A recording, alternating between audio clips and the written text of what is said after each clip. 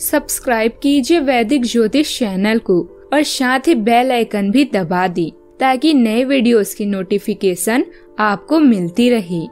जय संतोषी माँ। दोस्तों, स्वागत है आपका वैदिक ज्योतिष में। जानते हैं आज क्या कहती है आपकी राशियाँ। कैसा रहेगा आपका दिन? शुरुआत करते हैं आज के सुविचार से।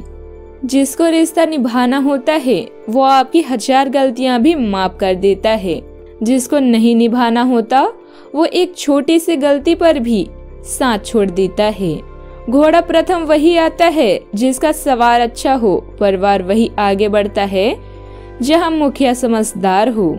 यह मत सोचो कि तुमसे यह ना हो पाएगा, बल्कि यह सोचो कि मेरे अलावा और कौन कर पाएगा। आज का पंचांग, तीन फरवरी 2020 दिन सोमवार। माघ मास के शुक्ल पक्ष की नौमी तिथि, रात्रि नौ बजकर उन्नीस मिनट तक रहेगी। इसके उपरांत दशमी तिथि प्रारंभ हो जाएगी। कृतिका नामक नक्षत्र रात्रि बारह बजकर बावन मिनट तक रहेगी। इसके उपरांत रोहिणी नक्षत्र प्रारंभ हो जाएगी।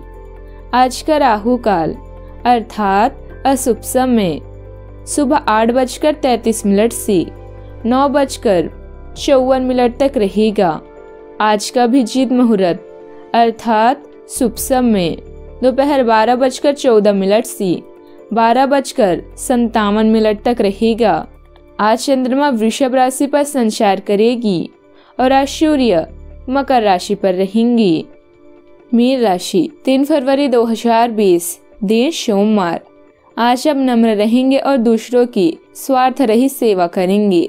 दूसरों को संतुष्ट करने के लिए अपना समय, स्थान, पैसा और यहाँ तक कि अपना भोजन भी लगाएँगे।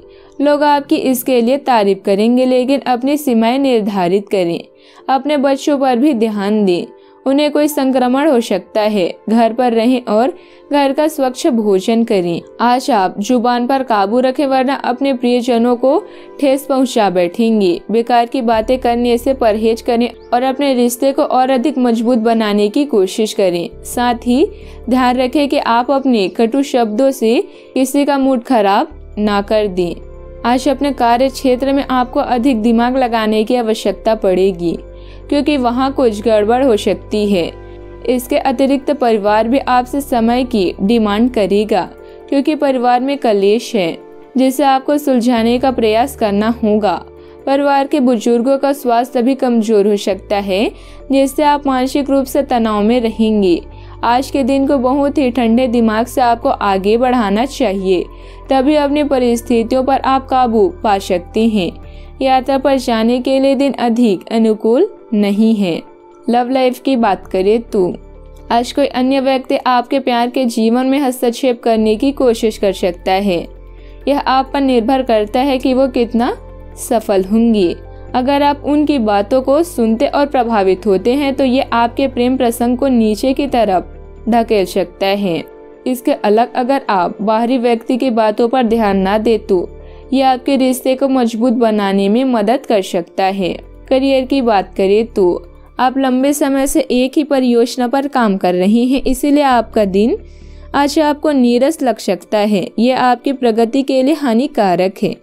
लेकिन जितनी जल्दी हो सके बदलाव लाने के लिए आप कोशिश करें।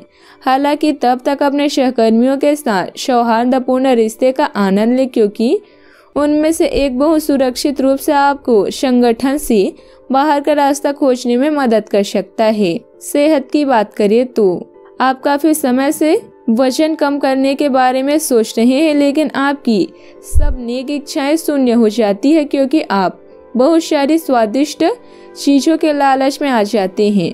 आज वज़न कम करने के लिए अपने डाइट की योजना बनाने और व्यायाम का संकल्प लेने का अच्छा समय है। आप इस काम के लिए विशेषज्ञों की सलाह भी लेने वाले हैं। और इस काम में आपका काफ़ी पैसा भी खर्च होगा। आज का टिप्स। आज आप शंकर भगवान जी की आराधना करें। जीवन में हमेशा सकारात्मक सोच के साथ आगे बढ़ते रहें। आपका दिन शुभ हो।